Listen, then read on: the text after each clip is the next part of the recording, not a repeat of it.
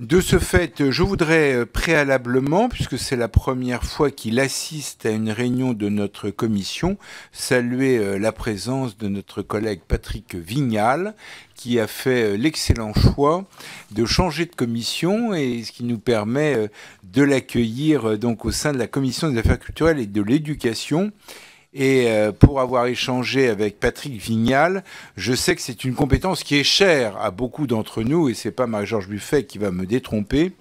Euh, donc, euh, donc, je sais qu'il vient avant tout dans cette commission pour un intérêt lié aux questions relatives au sport. Voilà.